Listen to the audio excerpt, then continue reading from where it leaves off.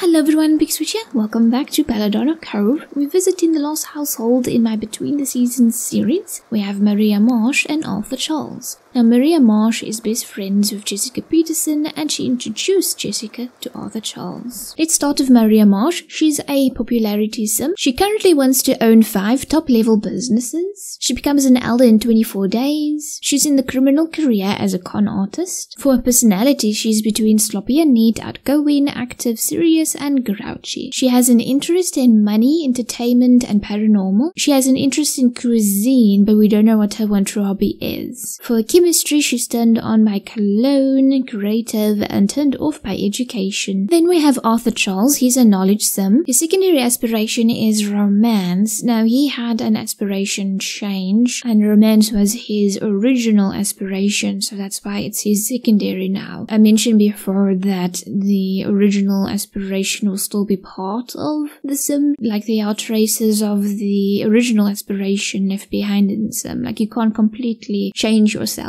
So that will be his secondary aspiration. Everyone else, the secondary aspiration will be life experience. Currently wants to become a city planner, becomes an elder in 33 days. He works as a bartender at Center Drip Coffee Shop. For his personality, he's between sloppy and neat, shy, on the active side, playful side, and then grouchy. He's really interested in money, travel, weather. For hobby enthusiasm, his one true hobby is cuisine. He also has an interest in games and science. For his chemistry, he's turned on by hard worker, logical, and turned off by unemployed. As a reminder, Arthur Charles and Maria Marsh live right over here, next to Jessica Peterson. And they are currently speaking about the paranormal, something they both really, really like, but instead they're gonna go and talk about the weather. It's currently raining.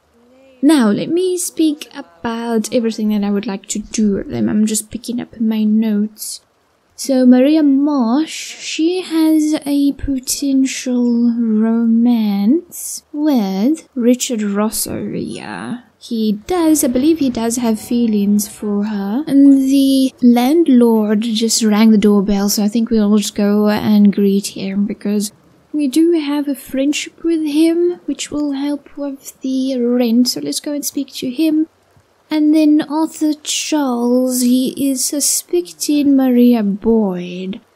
And I do have something planned with that. And then also Armand DeBateau, we also need to go and explore that. And then also about Armand. So Jessica didn't give Arthur Charles an update on the situation. He has no idea that she really doesn't need information on Armand, but he's still gonna go ahead on that. Go ahead with that because Arthur told Jessica that she must pay him after he delivers information on Armand, and as you can see, he has a high interest in money. And that is honestly why he agreed to go and help now with that, so he's gonna go and do that. And then also about Richard Rogers, I feel that Arthur uh, doesn't really like Richard Rogers. They are friends now. And I did consider that Arthur is going to seduce Sarah Stone because of his secondary aspiration and because he doesn't really like Richard Rogers. But then I decided, well, we can just focus on Maria Boyd this round. And then maybe if Arthur doesn't like Richard later, maybe if the relationship worsens and then we can consider Sarah Stone and Arthur Charles. And I also see he wants to be friends with Maria, so yes, let's go and do that. Let's go and call her up. And then one more thing that I wanted Maria Marsh to do, I wanted to befriend Marissa Cleveland. That is going to be her big con. So Maria Boyd, let's just talk right now. We are not friends yet. So I know that Marsh is gonna go out to Euphony. Oh, and then she did roll a one with him, for him. Marsh is gonna go out to Euphony, and then I'm also thinking that she's going to purchase the musical instrument. Like, that is her way in. They're getting along right now. Speaking about jewelry, about money. And then Arthur here, I think he can get to know Armand a little more. So we are just gonna go and chat to him. So we're just getting to know our targets right now. Marsh just wants to go and tell jokes to Richard Ross. So I wanna go and ask, what do you want? Do you like what you see to go and re-roll his wants? But I also see that she wants to go and entertain over an inside joke. He wants to go and get fit. I don't think she's really feeling him. Let me just have them chat and then make selectable. Okay, so he does have a romantic one. Oh, but he does want to ask her out. Okay. Oh, wow. Okay. okay, in love.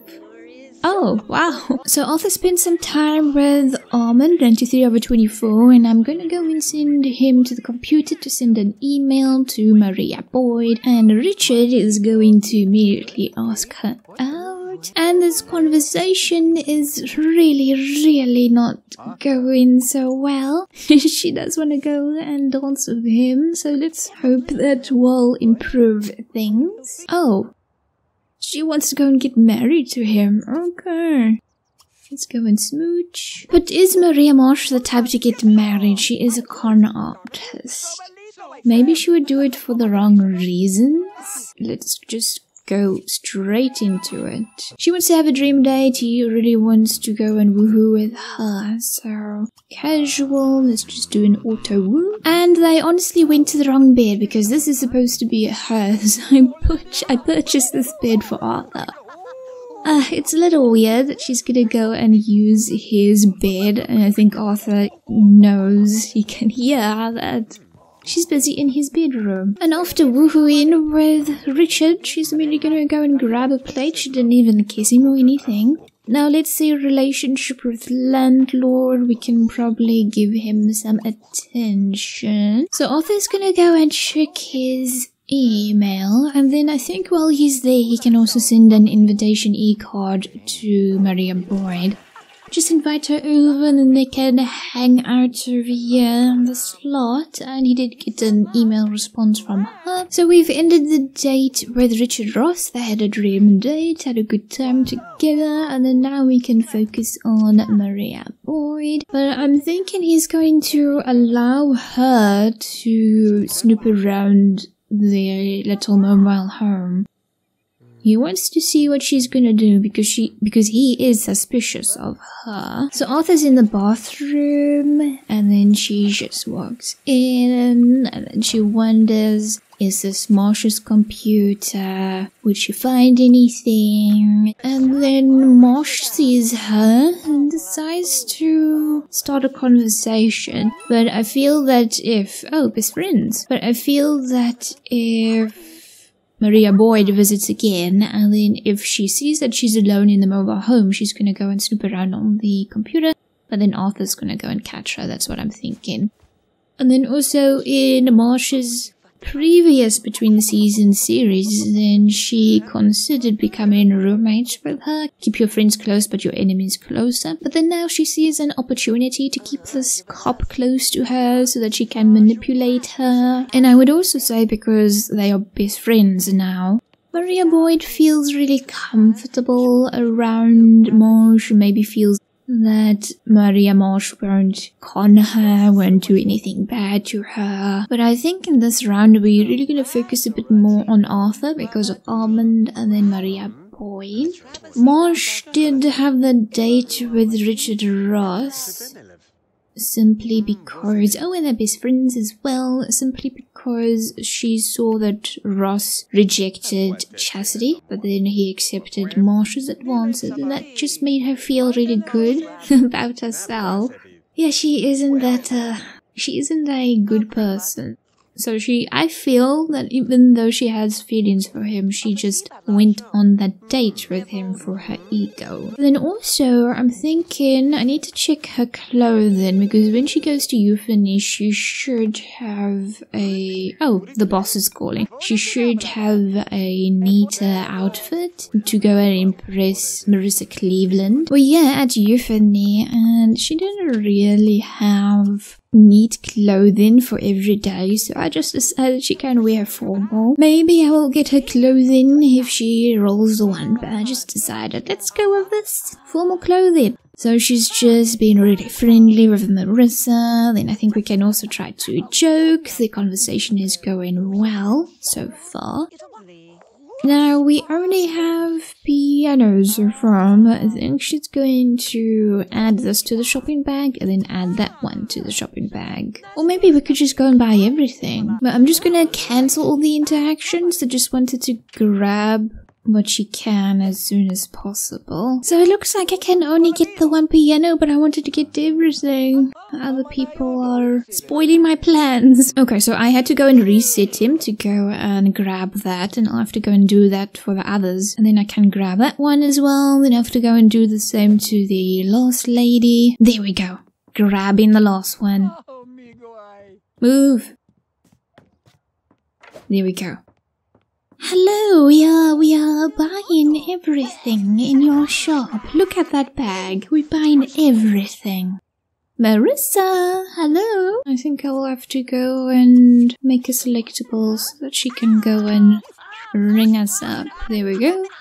Looks like all her customers were picking on her. Poor Marissa. But I think this purchase is going to make her feel much better now. But I think Marissa is probably going to appreciate her for, for purchasing all her stock. So let's go and make her selectable. We are going to go and admire. Let's go and cancel that.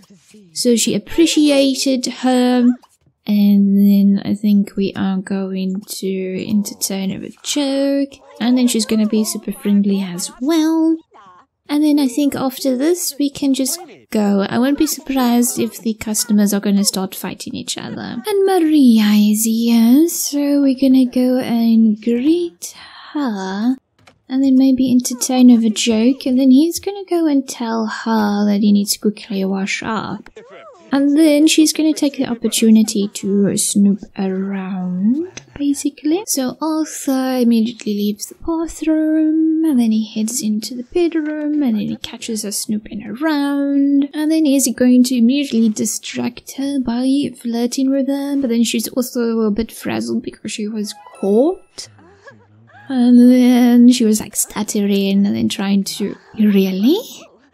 Well, I'm gonna lock that one in. Oh, but he's also crashing on her. So let's just charm again and then hit on her. Oh, but he lost that one to do an Oscar out. But he had that one, and I am just going to have him go ahead with this. And he doesn't mention the fact that she was just busy on this computer.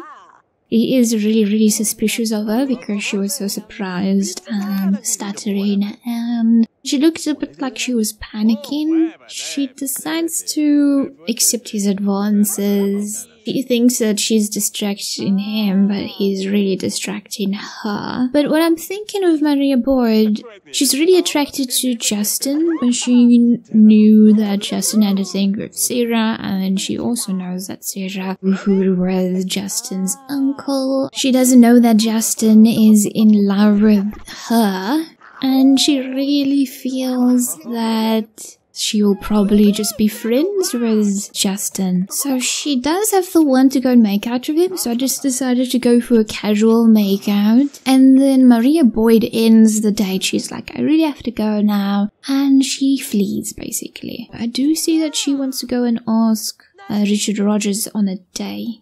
I think I'm going to lock that one in instead of Carlos. So she's going to go and give her friendly hug. And I don't think Jessica has spoken about Carlos, but I do feel because she rolled the one to go out with Richard Rogers, she probably wants to move on. She doesn't know if Richard Rogers is well off, but I think she maybe has decided that she wants to be happy for a change. And they spoke about love, they spoke about babies. Maybe she's speaking about Carlos right now, that she trusted him, she fell in love with him, and now she feels that she's pregnant, and what is she gonna do with this child? And Maria Marsh feels that the child is a paycheck, access to Carlos's wealth. So I think maybe Marsh advises her to keep the baby because that's also leverage over uh, Carlos. And then Jessica is, I feel, pretty calm over here. So we will address, yeah, the baby, the unborn contender baby in the future. We're at the art museum because I felt that Armand would maybe visit this place, and he is here as we arrive, so that is wonderful. Tell a story, probably about art because we're outside the art museum, and then I feel we can go inside like they are viewing art together. So first up is a statue.